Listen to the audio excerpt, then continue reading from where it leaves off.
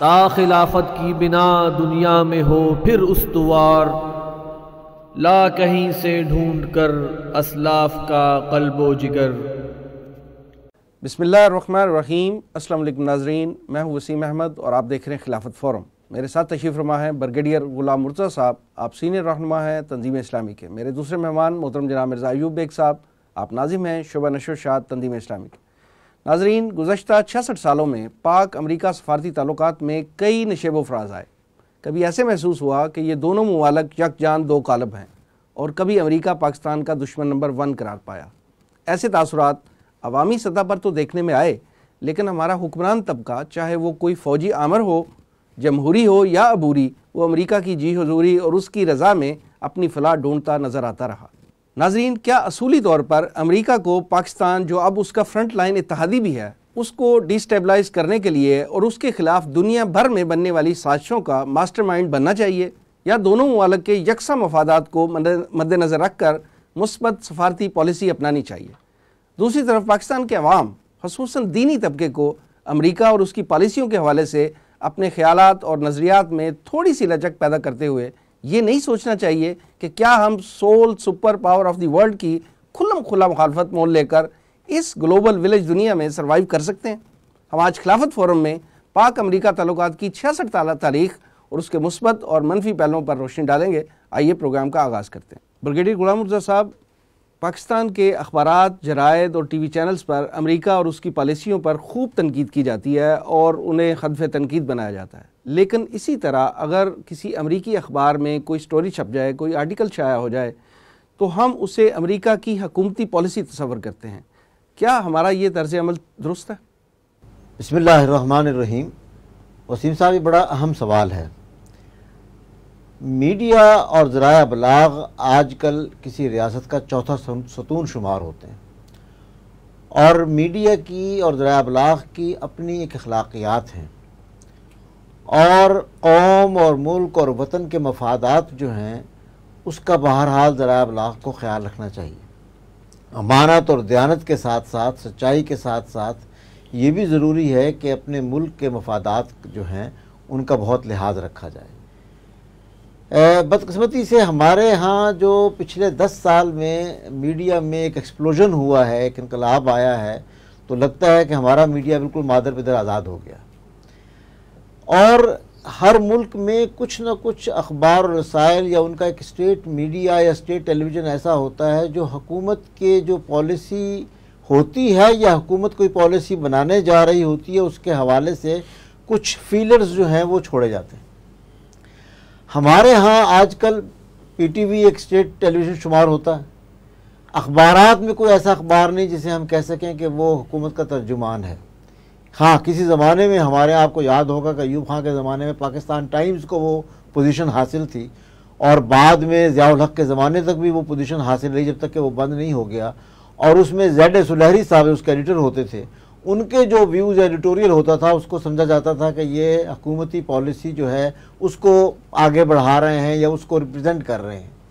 आजकल भी हमारे यहाँ हकूमतों के लिहाज से कुछ ना कुछ ऐसे जर्नलिस्ट तो होते हैं कि जिनके मुँह से लिखने हुए अल्फाज को ये समझा जाता है कि वो हुकूमती पॉलिसी का हिस्सा है। अब तो लेवल लग, लग गया ना कॉलम निगारों पे सहाफ़ियों पे एंकर्स पे कि ये किसको सपोर्ट कर रहे हैं और किसकी जबान बोल रहे हैं? जी जी। लेकिन मजमू तौर पर हमारा मीडिया जो है फिर भी इतना कोई अखलाकियात का किसी का पाबंद या कोई ख़ास लॉयलिटी शो नहीं कर रहा होता। कह सकते हैं आपके फ़लाँ फ़लाँ शख्सियतें जो हैं वो फ़लाँ की पॉलिसी को आगे बढ़ा रही हैं लेकिन हतमी तौर पर नहीं कह सकते। बात हो रही थी हमारे मीडिया और अमेरिकन मीडिया के हवाले से। अमेरिकन, अमेरिका में भी मीडिया आज़ाद तस्वुर किया जाता है या दूसरे जो भी जमहूरी ममालिक हैं, जहाँ जमहूरीत की रिवायात जो हैं, वो जड़ पकड़ चुकी हैं, वहाँ पर कहा जाता है कि सहाफ़त आज़ाद है। लेकिन मेरे ख्याल से हमारे यहाँ जो सहाफ़त आज़ाद है, इस आज़ादी का तस्वुर किसी और मुल्क में नहीं है। अमेरिका में बहुत से अखबार हैं और बहुत से टी वी चैनल्स हैं और वो अपने अपने हिसाब से प्रोग्राम्स भी करते हैं, लेकिन उनके यहाँ दो अखबार ऐसे हैं ख़ास तौर पर वाशिंगटन पोस्ट और न्यूयॉर्क टाइम्स और उनमें भी वाशिंगटन पोस्ट ज़्यादातर, जो कि वाशिंगटन से निकलता है। उसके हवाले से कहा जाता है कि वो या तो हुकूमत की पॉलिसी को रिप्रेजेंट कर रहे होते हैं, या उसमें छपने वाले मजामी ऐसे होते हैं जिसके ज़रिए से अमरीकन जो भी हुकूमत वक्त की होती है, वो जज कर रही होती है कि अगर ये पॉलिसी को आगे बढ़ाया जाए तो दुनिया में क्या रद्दमल होगा।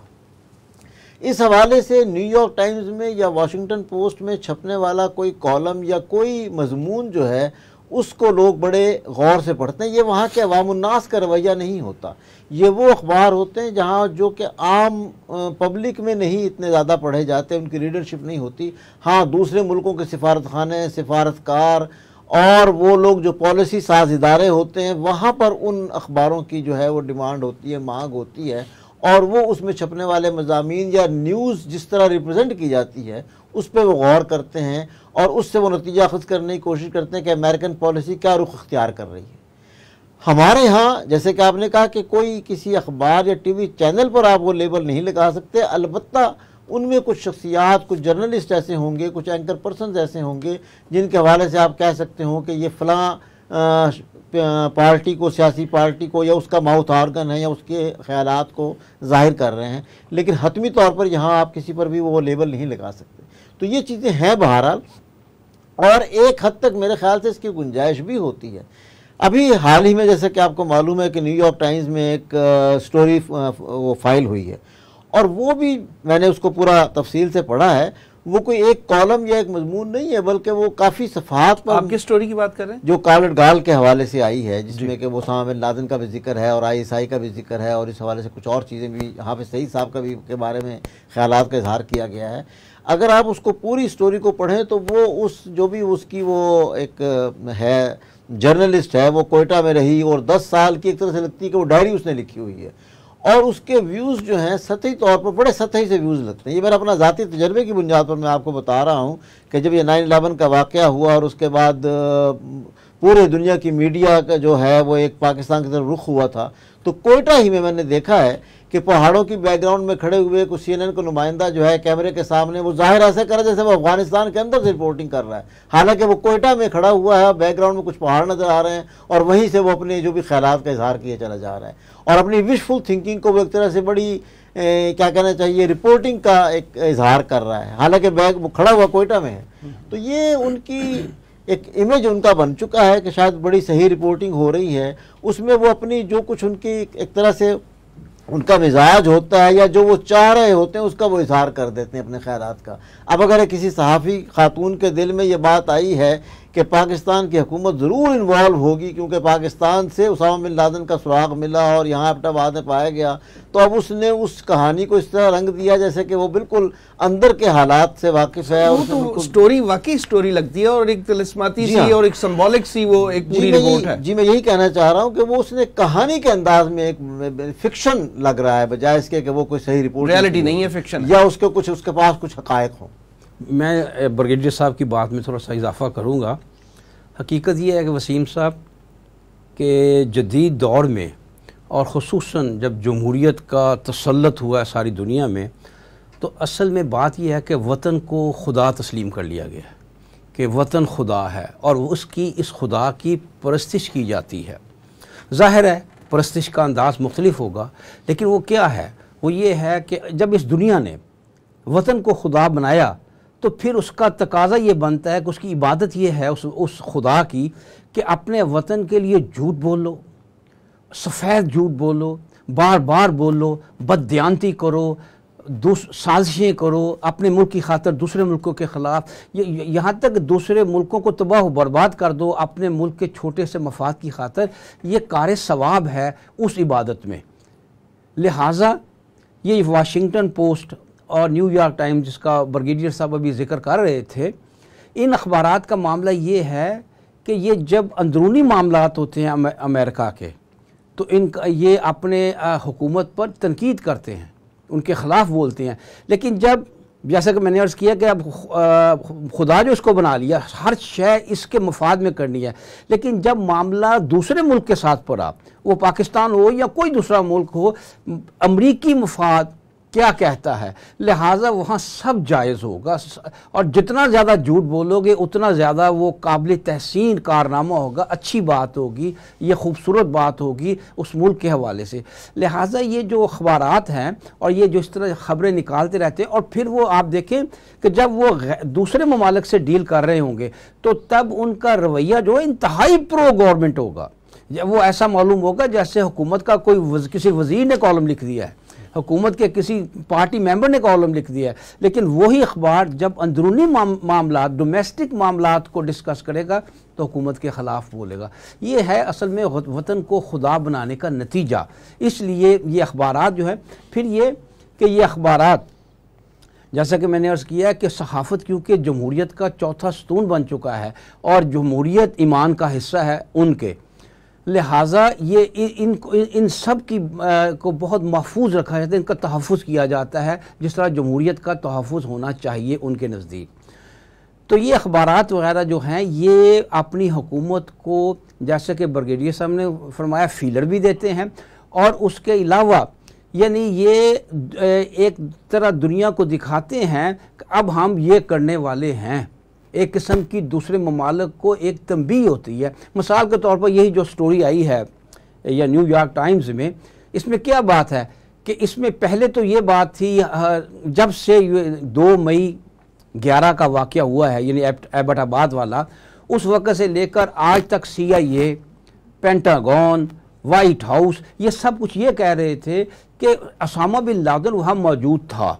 वहाँ हमने उसको मारा है। लेकिन हुकूमत पाकिस्तान या पाकिस्तान की अस्करी क्यादत को इसका कोई मालूम नहीं था। हम हमारी राय में उनको मालूम वो उनसे छुपा हुआ ये नाहली थी आईएसआई की। अयूब साहब ये ये जो स्टोरी है खास तौर पे अहमदाबाद के वाक़े वाली ये तो सीम हर्ष जो इनका एक बड़ा सीनियर साफी था वो तो पहले डिस्क्लोज कर चुका है कि ये अहमदाबाद का जो वाक़ था ऑपरेशन ये सारा ड्रामा था। ये था ही नहीं वहाँ कुछ नहीं। मैं उनकी राय से इतफाक करता हूँ। मैं कहना ये चाहता था कि ये जो उसने उसने ये जो कुछ लिखा है, असल में और अब लिखा है, पहले ये आज तक तीन साल से ये कहते चले आ रहे हैं कि हुकूमत का कोई ताल्लुक नहीं।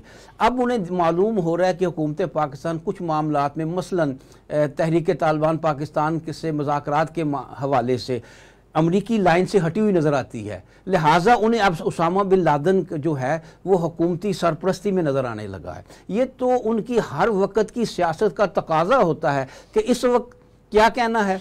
और बाद में क्या कहना है? और वो बात वही जो हिटलर का था वज़ीर खारजा गोबल्स उसके मुताबिक झूठ बोलो इतना बोलो इतना बोलो कि सच पर हावी ये हुकूमत पर प्रेशर डालने वाली बात होती है ना कि पाकिस्तान की गवर्नमेंट को और फौज को अंडर प्रेशर लाया जाए और उन पर इल्ज़ाम लगाकर उनको मतून किया जाए या उनकी गलतियों को वो निशानदही करा के ताकि किसी वक्त अगर अपनी पॉलिसी रिवर्स करनी पड़े पाकिस्तान के खिलाफ तो उसको वो उस मफाद को आगे बढ़ा और ये हुकूमती इमा पे होता है। बाकायदा मिली भगत से होता है हुकूमत और अखबार की। हैरानी की बात है, जब भी डोमेस्टिक मामला आएगा, हुकूमत अलग होगी, अखबार अलग होगा। अगर इसी स्टोरी को लिया जाए तो उसने जो ये स्टोरी लिखी है, वो 2002 से लेके 2013 तक जब वो यहाँ रही कोयटा में, उसके हवाले से उसने लिखा है। तो ये बात उसने, अगर उसको मालूम था तो ये 2011 में उसने क्यों नहीं लिख दी? सवाल यह कि ये आज क्यों लिख रही? ये बात को कुछ कल मालूम हुई है। यहाँ पर वो पिछले दस साल ज़्यादा ज़रूरत थी इस चीज़ की अगर ये उसमें कोई रियलिटी थी तो। उसको चाहिए ये था ध्यानत तो ये होती कि वो अपनी हुकूमत की जैसे कि वेग साहब ने कहा कि सीआईए और पेंटागन वगैरह पाकिस्तान की फौज को और हुकूमत को इससे क्लियर करार देते रहे हैं उस वक्त वो उनसे इख्तलाफ करती और कहती कि नहीं मेरी इतलात ये है कि पाकिस्तान की हुकूमत को और आई को मालूम था और उनकी प्रोटेक्शन में उनको प्रोटेक्शन दी हुई थी। लेकिन अचानक उसको 2014 में ये बात जो है उस पर खुलती है कि ये तो उनके हवाले से है। और अब क्योंकि उनका मफाद ये है कि पाकिस्तानी हुकूमत जो है, जो एक यहाँ पर अमन कायम करने की तरफ़ पेशरफ करना चाहती है, और वो चाहते हैं एक अनस्टेबल पाकिस्तान ताकि उसके ज़रिए से अमेरिकन मफादात जो हैं इस खत्े में उनको वो प्रमोट कर सकें। इसलिए अब उन्होंने ये इस अंदाज में दबाव डालना शुरू किया। आर्म ट्विस्टिंग जिसे आप कहते हैं। ठीक। नाजरीन पाकिस्तान और अमेरिका के सफारती तल्लक के हवाले से बातचीत जारी रहेगी एक छोटे से वक्फे के बाद। Stay with us will be right back ताखिलाफत की बिना दुनिया में हो फिर उस्तवार। ला कहीं से ढूंढ कर असलाफ का कल्बो जिगर। वेलकम बैक नाजरीन। अयूब बेग साहब अमरीकी वज़ीर खारजा जॉन कैरी ने योम पाकिस्तान पर अपने पैगाम में कहा है कि पाकिस्तान और अमरीका के मफादात जो है वो यकसा हैं। और हम पाकिस्तान के साथ तल्लुक जो है वो मज़बूत बनाना चाहते हैं। ये बताएँ कि दूसरी तरफ़ इसके बरक्स जो है, हमारे दीनी हल्के जो हैं, वो अमेरिका को दुश्मन नंबर वन समझते हैं। ऐसा क्यों है? वसीम साहब, बात यह है कि ये जॉन कैरी जो है ना, इसके बा, इसके बारे में एक आम तासर ये है कि ये बड़ा प्रो पाकिस्तान है। यानी अमेरिकन सेनेटर्स और अमेरिका के जो आला अहदेदार हैं, उनमें इसका जो, इसका रुझान जो है, वो पाकिस्तान की तरफ़, पाकिस्तान से दोस्ताना ताल्लुक के हवाले से बहुत ज़्यादा है। असल में ये है कि अमेरिका, आपको मालूम ही है कि ये सर्द जंग के बाद ये supreme power of the world बन गया और दुनिया में कोई ताकत, कोई इसका मुकाबला ना रही। वहद सुपर पावर बन गया। तो उसके बाद ख़ास तौर पर उसके बाद तमाम दुनिया के ममालिक ने ऐसी अमेरिका में लॉबियाँ कायम कर ली जो अमरीकी अहदेदारों को अमेरिका के बड़े बड़े जो वज़ीर और सरकारी उधर और सैनेटर्स जो थे उनको अपने हक में करने के लिए अच्छी खासे वसाइल और अच्छी खासी मेहनत करने लगे। हमारे बारे में ये तासर कायम हो गया कि जॉन कैरी जो है, वो पाकिस्तान का बड़ा हमदर्द है और सैनट सैनट में वो पाकिस्तान के हवाले से बड़ी अच्छी बातें करता है। लेकिन मैं समझता हूँ कि अमरीकी तर्ज़ अमल, जो खालिस्ता मुनाफ़त का तर्ज़ अमल है, उन मुनाफ़ों मुनाफ़ों में से ये रईसुलमुनाफ़ीन है। और जितनी ज़्यादा दुश्मनी इसने पाकिस्तान से ली है। इसकी मिसाल मैं ऐसे दे, देता हूँ कि आज तक हमें जितनी भी इमदाद मिली है अमेरिका से, वो लुत्फ की बात है ऐसे हमेशा इमदाद कहा जाता है, जबकि ये हमेशा सूद समेत कर्ज होता है। तो उसमें से सबसे ज़्यादा सख्त शराइ वाला, बदतरीन शराइ वाला, वो वो इमदाद थी, वो कर्ज था जो कैरी लोगर बिल के नाम से हुआ था। और आपको मालूम होगा कि हमारे यहाँ की फ़ौज और हमारी जो उस वक़्त के सियासी रहनुमा थे, उनके दरमियान एक इख्तलाफ पैदा हो गया था अच्छा खासा इख्तलाफ पैदा हो गया था। यहाँ तक कि I I S P R को एक बयान जारी करना पड़ गया था, जिसमें उसने अपनी नाराज़गी और इस बिल के हवाले से, मदद लेने के हवाले से मजामत का इजहार किया था। और इस पर बहुत बातें हुई थी। और ये कैरी लोगर बिल जो है, और आपने देखा कि लिए ये हमारे लिए हर तरह का नुकसानदेह लिहाजा ये जॉन कैरी साहब जो ज़ाहिरन प्रो पाकिस्तान नज़र आते हैं ये पाकिस्तान के बुरे दुश्मनों में से हैं। और इनका और शायद गालब ने इन्हीं के बारे में कहा था हुए तुम दोस्त जिसके दुश्मन उसका आसमां क्यों हो? तो ये मसला इनका ये है कि ये दोस्ती के रंग में ये वो लोग हैं जो दोस्ती के रंग में आपकी पीठ में छुड़ा घूमते हैं। अमेरिका किस हद तक पाकिस्तान का दो, दोस्त है? मैं समझता हूँ कि दीनी जमातों के बहुत से ऐसे मौक़ होंगे स्टांसिस ऐसे ऐसे होंगे जिन पर मुझे इख्तलाफ हो सकता है। लेकिन मैं समझता हूँ कि अमेरिका के हवाले से दीनी जमातों ने जितना सही जितना दुरुस्त जितना जायज़ स्टांस लिया है और किसी हवाले से नहीं लिया वाक़ता इस वक्त अमरीका जो है वो पाकिस्तान का दुश्मन नंबर एक है। मैं बड़ा सोच समझ कर कह रहा हूँ कि दुश्मन नंबर एक है। आपके जहन में यकीन आया होगा कि हमारा अजली और अब्दी दुश्मन तो भारत है। लेकिन मुझे आज याद आ रहा है, डॉक्टर सरार अहमद मरहूम, उनकी बसीरत का मामला, कि आज से तकरीबन 25 साल पहले उन्होंने कहा था, जब अमेरिका की कोई दुश्मनी का कोई सवाल ही नहीं था। ये अमेरिका की दुश्मनी अवाम के सामने तो नाइन अलेवन के बाद ज़्यादा आई है ना? उन्होंने उस वक्त कहा था और पाकिस्तान के एक बहुत मशहूर, मैं नाम लेना पसंद नहीं करूँगा, एक सीनियर सहाफ़ी से मकालमा करते हुए उन्होंने कहा था कि आपकी निगाह में पाकिस्तान का सबसे बड़ा दुश्मन कौन है? तो उस सीनियर सहाफ़ी ने कहा था, ज़ाहिर भारत है। तो उस वक़्त अमीर तंजीम ने यह बानी तंजीम ने यह बात कही थी कि मैं कहता हूँ कि पाकिस्तान का सबसे बड़ा दुश्मन अमरीका है। मैं समझता हूँ उन्हें खराज तहसीन पेश करना चाहिए कि किस तरह बसीरत का ये मुजाहरा है कि आने वाले वक्त हालात का उन्होंने किस तरह जायज़ा लिया कि दुनिया क्या सूरत इख्तियार कर रही है और अमरीका हमारी दुश्मनी में क्या रोल अदा कर रहा है। लिहाजा दीनी जमातें सौ मामलों में गलत हो सकती हैं। उनका स्टांस दुरुस्त नहीं हो सकता। लेकिन अमेरिका के हवाले से जो भी उनका स्टांस है, जितनी उन्हें दुश्मनी है, जो भी वो इजहार करते हैं, कम करते हैं। अमेरिका यकीनी तौर पर उससे कहीं बड़ा हमारा दुश्मन है। ब्रिगेड साहब अयूब एक साहब तो अमेरिका को दुश्मन नंबर वन करार दे रहे हैं और दीनी जमातों का जो अमेरिका के हवाले से स्टांस है, उसको ओन कर रहे हैं। एक तो मैं इस पर आपका एक मुख्तर सा कमेंट चाहूँगा। दूसरा ये फरमाएँ कि दहशत गर्दी के ख़िलाफ़ पाकिस्तान जो है, वो अमेरिका का फ्रंट लाइन इतिहादी है। जबकि कुछ लोगों का ख्याल ये है कि पाकिस्तान में क्याम अमन के लिए इस दहशत गर्दी की नाम नहाद जंग से अलहदगी जो है ये नागजीर है। इस पर आपकी क्या राय है? आपको अगर हेनरी किसिंजर का एक कौल याद हो, जो उसने अपनी किताब में लिखा है कि अमेरिका की दुश्मनी बुरी चीज़ है और उसकी दोस्ती, उसकी दुश्मनी, उसकी दोस्ती जो है, उसमें दुश्मनी ज़्यादा होती है। तो दरअसल ये वही चीज़ है। अगर आपको याद हो कि ये कैंप डेविड जो है ये एक अमेरिकन प्रेसिडेंट की कोई हॉलीडे रिसोर्ट है असल में। लेकिन जब अमेरिका ने अपनी कोई डिप्लोमेसी की बड़ी को ख़ास कोई काम करना होता है तो अमेरिकन प्रेसिडेंट वहाँ ले जाता है सरबराहान ममलकत को और वहाँ पर मुजाकर होते हैं। वहाँ जाके राजो न्याज होते उससे सरबराहान ममलकत को ये इंप्रेशन दिया जाता है कि अमेरिकन प्रेसिडेंट जो है बड़ी कोई ख़ास और बड़ी मोहब्बत प्रोटोकॉल दिया गया। खसूसी प्रोटोकॉल दिया जा रहा है। इसकी एक ख़ास मिसाल है जो अरब इसराइल इन्होंने, कार्टर ने वो करवाए थे और उसमें क्लिंटन ने भी बल्कि, और वहाँ पर मैनखम बेगन को और पहले उससे अनवर सादात को ले गए, फिर उसने मुबारक को भी, जिससे कि वो इसराइल अरब माहिदा कराया गया था। और मतलब है, अमेरिका की जो इसराइल से जो ताल्लुकात हैं, दोस्ती, वो तो वाजह है मकसद सिर्फ़ ये होता है कि अरब ममालिक के भी उनको भी वही कहा जाए कि हम आपको भी इसराइल के बराबर स्टेटस दे रहे हैं कि आपको भी वहाँ ले जाकर और वहाँ मुजाकर हुए और उनको एक माहिदा करवा दिया गया।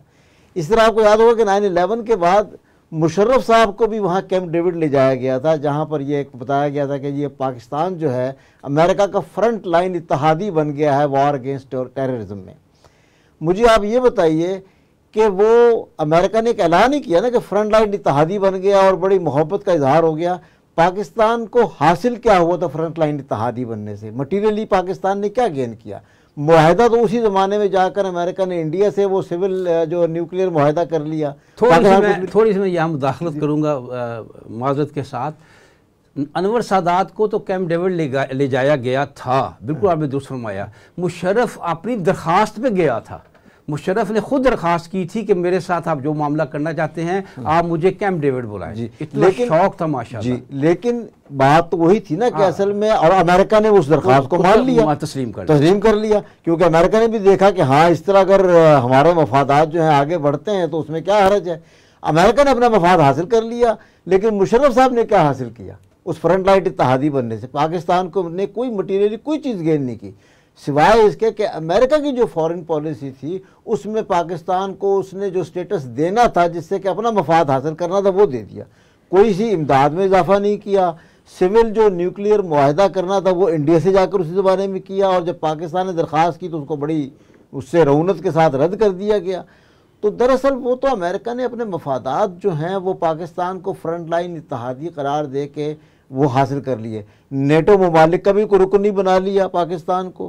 कोई पाकिस्तान को इजाफी इमदाद नहीं दी। जो अफ़गानिस्तान में अमेरिका के मसाइल थे, उन मसाइल से निकलने के लिए, उनको हल करने के लिए पाकिस्तान को एक फ्रंट लाइन इतिहादी बनाकर पाकिस्तान को मुसीबत में फंसा दिया। उससे पहले हमारे यहाँ दहशत गर्दी की वो लहर जो बाद में शुरू हुई, वो उस वक्त तक नहीं थी। जो फाटा के अंदर मामला हैं, उस वक्त तक ये चीज़ें जो हैं उस अंदाज में नहीं थी। अब हम उस नतज को भुगत रहे हैं। अब पाकिस्तान के भी सियासतदानों को एहसास हुआ है कि फ्रंट लाइन इतिहादी बनकर हमने खोया है पाया कुछ नहीं। अब पाकिस्तान की मौजूदा हुकूमत अगर उस अ, सारे जो भी एक क्या कहना चाहिए वेब बन गया है और बड़ी एक डिफ़िकल्ट सिचुएशन है उससे निकलने के लिए मुजाकरात कर रही है तो अब वो अमेरिका जो है उसके मफादात अब अमेरिका का भी मफाद वापसता है। अभी अमेरिका ने यहाँ से वापस जाना है। पाकिस्तान के ज़रिए ही उसने अपने फोर्सेस को और अपना सामान वापस लेकर जाना है। लेकिन ये अमन मुजाकरात जो हैं, ये अमेरिका को अच्छे नहीं लग रहे। हमारी दीनी जमातें जो हैं, वो समझती हैं नाइन इलेवन से पहले जो मामला थे, रशिया ने जब अफ़गानिस्तान के अंदर एक दाखिल हुआ था, उस वक्त अमेरिका ने ही इस्लाम और कुफ्र की जंग इसको बनाकर और जहादी तंजीमों को और उनको, अमेरिका ने ही फंडिंग की। अब जब रशिया टूट फूट गया, रशियन रियासतें बन गई, अब अमेरिका का जो मुकाबला है वो इस्लाम एज ए दीन से है। हम कहते हैं कि इस्लाम दीन है, मुकम्मल जबता है, हयात है। जबकि अमेरिकन जो हेजमनी हो गई है, अब यूनिपोलर वर्ल्ड के अंदर अमेरिका अपनी सकाफत को, अपने मफादात को आगे बढ़ाना चाहता है तो बराह रास्त टकराव उसका ख़ास तौर पर पॉलिटिकल इस्लाम से है। हमारी वो दीनी जमातें जो इस्लाम को बतौर निज़ाम नाफिज करना चाहती हैं, वो लोग, वो ग्रोह, वो जमातें अमेरिका का मुकाबला उनसे है। लिहाजा और ये दीनी जमातें समझती हैं कि अब हमारा मुकाबला जो अमेरिका से है। लिहाजा दीनी जमातों को एक चीज़ पसंद नहीं वो कहती हैं, उनका मुतालबा यह है कि पाकिस्तान इस जंग से जो है वो बरात का ऐलान करे। ये फ्रंट लाइन इतिहादी बनकर हमने कुछ हासिल नहीं किया, खोया है। अपने मुल्क में बदमनी और दहशत गर्दी और इसकी जो हमने एक फिजा की है और उससे हमारी मीशत पर बड़ी दर्द पड़ी है लिहाजा हमें इस जंग से निकलना चाहिए। ठीक। नाजरीन पाकिस्तान को अगर डॉलर सऊदिया से मिलें तो तोहफ़ा और अगर अमेरिका से मिलें तो इसमें साजिश की बू आती है। इस पर बात करेंगे एक छोटे से वक्फे के बाद। Stay with us will be right back. ता खिलाफत की बिना दुनिया में हो फिर उस्तवार ला कहीं से ढूंढ कर असलाफ का कल्बो जिगर। वेलकम बैक नाजरीन। अयूब एक साहब, सऊदी अरब से अगर हमें डेढ़ अरब डॉलर मिले हैं तो हम इसे तोहफा करार देते हैं। लेकिन यही जो डॉलर जो हैं अमेरिका से मिले तो हमें पाकिस्तान और इस्लाम के खिलाफ साजिश की बू आती है। ऐसा क्यों है बेग साहब? वसीम साहब, इससे पहले कि मैं इस सवाल का जवाब दूँ, मैं चंद बातें बड़ी मुख्तर सी, उस पहले सवाल के हवाले से आपको गोश गुजार करना चाहता हूँ, जो भी आपने ब्रिगेडियर साहब से किया था, कि हमने दहशत गर्दी के जंग के हवाले से तो वो दहशत गर्दी की जंग जो हमने ख़ुद अपने आप पर मुसलत कर ली थी, उसमें क्योंकि ब्रिगेडियर साहब ने उसमें यूनिपोलर का ज़िक्र किया था तो मैं उस हवाले से बात करना चाहता हूँ। वो तो हमने तो अपनी नाहली की वजह से उसे ख़ुद पर मुसलत कर लिया, लेकिन मैं समझता हूँ कि इस हवाले से शायद कुदरत कुछ हम पर मेहरबान हो रही है और दुनिया एक दफ़ा फिर यूनिपोलर से मुंतकिल होकर बाईपोलर हो रही है।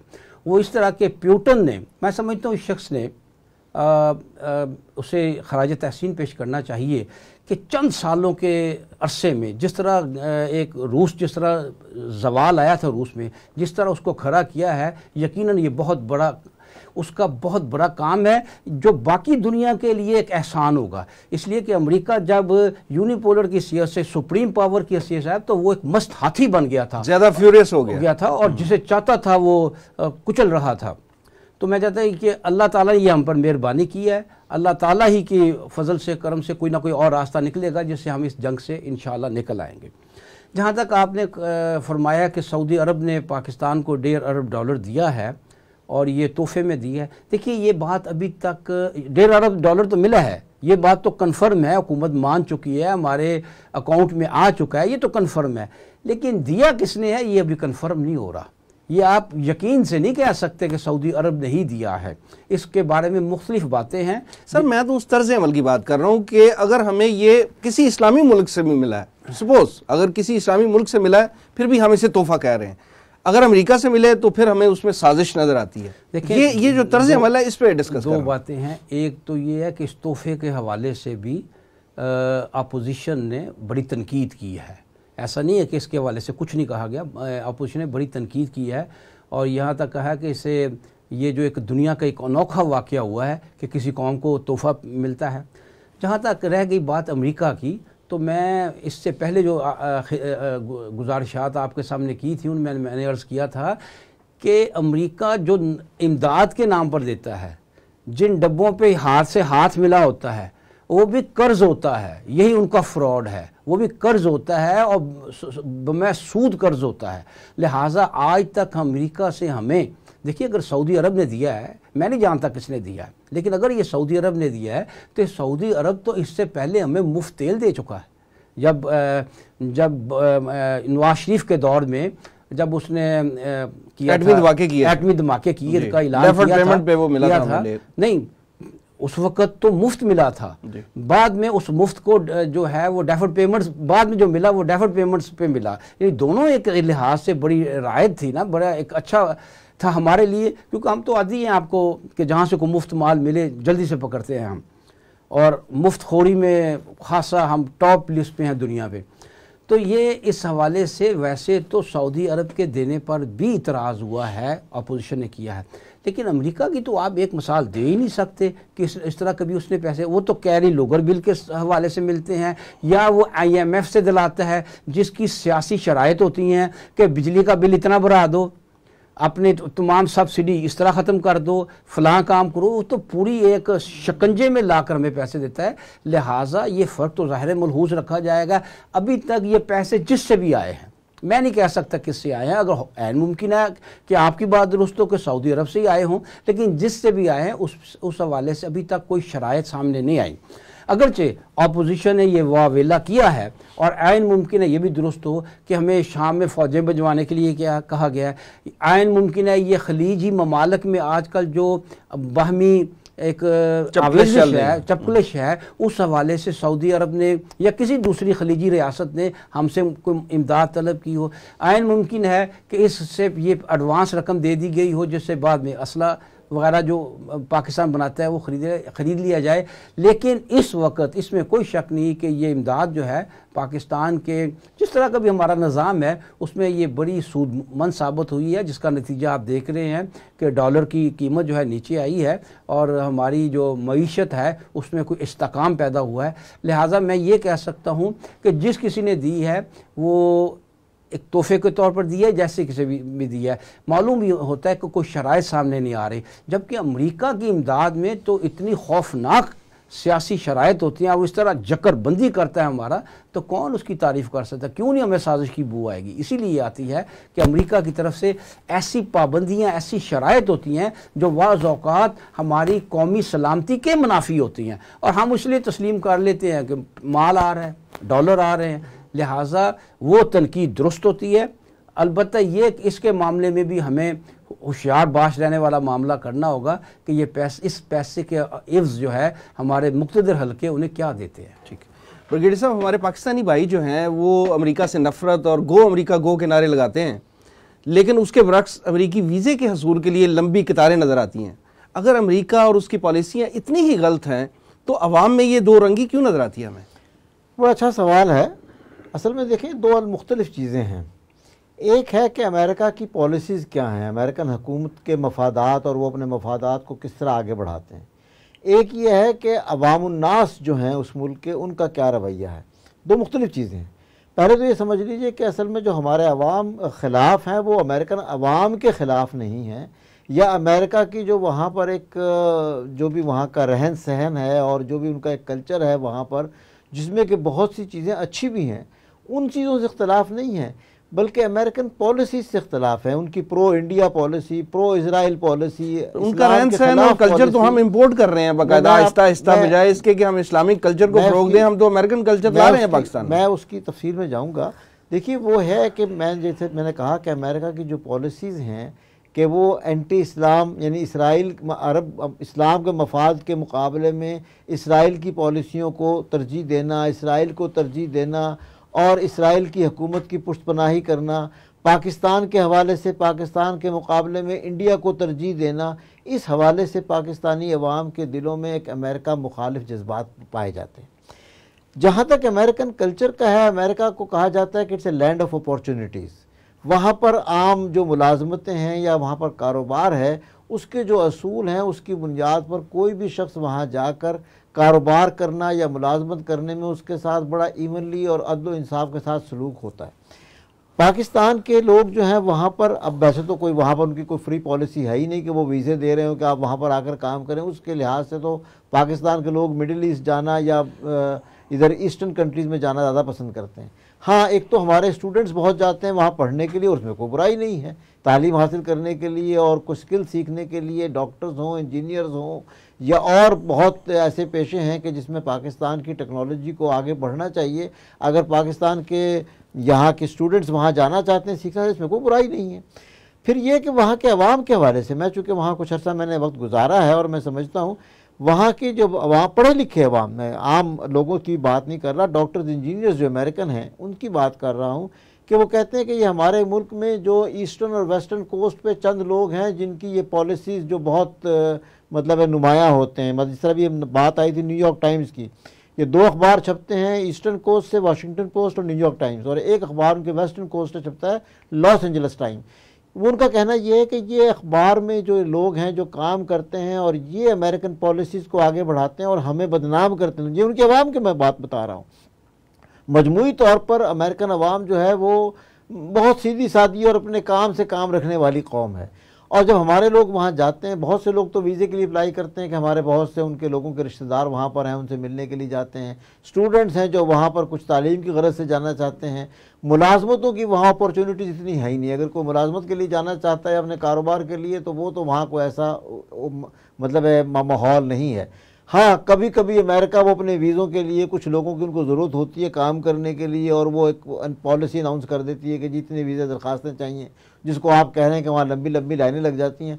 तो बुनियादी तौर पर लाइनें लगने का तो वो मैंने बता दिया आपको कि लैंड ऑफ़ अपॉर्चुनिटीज़ है और लोगों का ख्याल है कि पाकिस्तान की नस्बत वहाँ जाकर कोई छोटा मोटा कारोबार करना या मुलाजमत करना आसान है। यहाँ पर जिस आपको मालूम है कि हमारे माशरे में बहुत सी बुराइयाँ आ गई हैं। और जिसके हवाले से एक आम आदमी यहाँ पर अपनी कोई छोटी सी दुकान भी अगर खोले तो उसको, उसके लिए मुश्किल का बड़ा सामना उसे करना पड़ता है। वो अपनी जगह हकीकत ही हैं, हकायक हैं और उनका, हमें, उनको फेस करना चाहिए। यहाँ पर भी हमें अपने कल्चर को अच्छा कल्चर इस्लाम एक बेहतरीन निज़ाम है और अगर इस्लामी निज़ाम इस मुल्क में कायम हो और बदयांती और इन चीज़ों को यहाँ से ख़त्म किया जाए, झूठ और मुनाफ्त को तो ये तो चीज़ें बाहर मतलूब हैं। और इसीलिए हमारी तो ये कोशिश है कि यहाँ पर इस्लाम बतौर दीन जो है, वो निज़ाम नाफिज होना चाहिए। अदलो इंसाफ हो यहाँ पर, हर शख्स जो है, उसको उसका हक मिल रहा हो, ताकि उसे अमेरिका ना जाना पड़े, बल्कि अपने मुल्क में वो दयानतदारी से और अमानतदारी से और सच्चाई से अपना रोज़ी अपने कमा सके, अपने बाल बच्चों का पेट पाल सके। वो दो अलग अलग चीज़ें हैं। एक अमेरिकन गवर्नमेंट पॉलिसी है और एक ये है कि वहाँ के माहौल में यहाँ के लोगों को जाकर अवामनास को वहाँ पर एक अपॉर्चुनिटी नज़र आती है कि वो सीधे तरीके से कोई काम कर सकते हैं या कोई मुलाजमत कर सकते हैं। दो अलग चीज़ें हैं। ठीक। अयूब एक साहब फाइनली ये बताइए कि जैसा कि आप जानते हैं कि दुनिया एक ग्लोबल विलेज बन चुकी है। हम अमरीका के ख़िलाफ़ नफ़रत का इजहार करके उसे दुश्मन नंबर वन करार दे के और उसे आँखें दिखाकर पूरी दुनिया में कैसे सर्वाइव कर सकते हैं? वसीम साहब अगर एक जुमले में आपको इसका मैं जवाब दूँ तो वो ये है कि इस वक्त जो हमारी हालत है, मीशत के हवाले से, हम दिवालिया होने को हैं, सियासत के हवाले से हमारी जो मामला है, वो कभी हम किसी फ़ौजी डिक्टेटर के तहत होते हैं, कभी यहाँ जमहूरीत बहाल होती है, फिर जमहूरीत के लिए के ख़िलाफ़ फ़ौजी आ जाते हैं, फिर जमहूरीत की बहाली के लिए चलती है, एक तहरीक चलती है और फिर ये होता है कि माशरत का भी आप कह रहे थे कि हम अमेरिका से इंपोर्ट कर रहे हैं। लिहाजा मीशत के हवाले से, सियासत के हवाले से और माशरत के हवाले से हमारा जो हाल हो चुका है तो मेरा जवाब यह है कि हम सर्वाइव नहीं कर सकते। लेकिन ये, उसकी वजह क्या है? उसकी वजह, जैसे कि मैंने अर्ज़ किया, ये हमारा निज़ाम है। हम, और उस निज़ाम के तहत हमारी हमारी करप्शन हमारी बदयांतियाँ और हमारा मुनाफकाना रवैया जो पैंसठ साल में हमने अप, अपनाया है। एक तरफ़ हम कहते हैं कि हमने ये मुल्क इस्लाम की नाम पर बनाया था। दूसरी तरफ़ जो है वो हमारे यहाँ इस और हमारे आयन में लिखा है कि पाकिस्तान में कोई का, आ, कोई कानून साजी जो है वो इस्लाम के ख़िलाफ़ नहीं हो सकती। आयन शरीयत के ख़िलाफ़ नहीं हो सकती। लेकिन दरादर कानून कवानीन बन भी रहे हैं। जैसे कि वो ये औरतों के हवाले से बना है कानून। और भी कई हैं। आइली कवानीन हैं, ये सब खिलाफ आइन है। तो असल में जो हमने अपनी हालत कर ली है, वो तो हमारी ऐसे जैसे कोई एक मरीज़ हो और वो मरीज़ भी आईसीयू में पहुँच चुका है उसकी हालत ख़तरे ख़तरे में है, लिहाजा इस हालत में तो हम सर्वाइव नहीं कर सकते। लिहाजा होना तो ये चाहिए कि हम एक जद्दोजहद करें और वो जद्दोजहद करें निज़ाम के हवाले से। जिस जिस बुनियाद पे हमने मुल्क हासिल किया था, उस बुनियाद पे, उन बुनियादों पे अपने तामीर करें इस मुल्क की सियासत के हवाले से मीशत के हवाले से और माशरत के हवाले से। तब कहीं जाकर जो है, ये मुमकिन होगा कि हम एक ऐसा इस्लामी फलाही मुल्क कायम कर सके। फिर सर्वाइव करना तो बड़ी दूर की बात है। फिर हम अमेरिका जैसे मुल्क को आँखें भी दिखा सकते हैं। अगर आप गौर करें, कुरान हकीम को जब हम समझ कर पढ़ते हैं तो जो हज़रत मूसा और फ़िरौन के वाक़ात आते हैं तो आज के दौर का अगर देखा जाए तो फ़िरौन का जो लकब है, वो अमेरिका पर सादिक आता है। अब फ़िरौन ने भी दावा किया था कि हाँ ये जो मूसा और हारून दो आ गए हैं ये तुम्हारी जो तह, मिसाली तहजीब और मिसाली सकाफ़त है उसको तबाह करने के लिए आ गए। और हज़रत मूसा ने एक मौके पर दुआ भी की अल्लाह ताला से कि अल्लाह ताला तूने जो इन लोगों को काफरों को बड़ा माल और दौलत दिया हुआ है और खुशहाली दी हुई है इसकी वजह से अवामनाज जो हैं वो तेरे रास्ते पर नहीं आ रहे। इनकी दौलत को मिटा दे इनको मतलब है तबाह बर्बाद कर दे ताकि लोग जो हैं वो तेरी तरफ़ मुतवजह हों। तो दरअसल अगर उस लिहाज से देखा जाए कुरान हकीम को तो आज के दौर का फ़िरौन जो है तो अमेरिका नज़र आता है। और अवामनास जो है उसमें उसी की सकाफ़त और उसी की तहजीब का चर्चा होता है। जबकि असल जो है वो अल्लाह का दीन है और अल्लाह के दीन की तरफ़ अगर लोग आएँ तो इन ताला उसमें जो लोगों को ज़्यादा अदल इंसाफ और ज़्यादा बेहतरी मिलेगी। और बहरहाल ये तो अल्लाह ताला का निज़ाम है, व तिलकल अयामदाविलहा बैन नास, ये तो दिन है। कभी अल्लाह ताला इसमें एक कौम को रूज देता है और फिर जब उनका वो बहुत सर चढ़ने लगते हैं और दावा करने लगते हैं ना रब्बु को मुलाला तो फिर अल्लाह ताला के अजाब के मुस्तक हो जाते हैं और बिल आखिर तो अल्लाह का जो दीन है, उसी का बोलबाला होगा। ब्रिगेडियर गुलाम मुर्तज़ा साहब और मिर्ज़ा यूब बेग साहब खिलाफत फोरम में तशरीफ़ आवरी का बहुत शुक्रिया। नाजरीन, ये था आज का प्रोग्राम। करंट इशूज़ के बारे में इस्लामिक पॉइंट ऑफ़ व्यू जानने के लिए देखते रहिए खिलाफत फोरम। इस प्रोग्राम के बारे में अपनी आराज ज़रूर दीजिएगा। हमारा एड्रेस है media at Tanzeem dot O R G Khilafat forum के तमाम प्रोग्राम आप तंजीम इस्लामी की official website Tanzeem dot O R G पर देख सकते हैं। अगले एपिसोड तक के लिए वसीम अहमद को इजाज़त दीजिएगा। अल्लाह ने के बाद।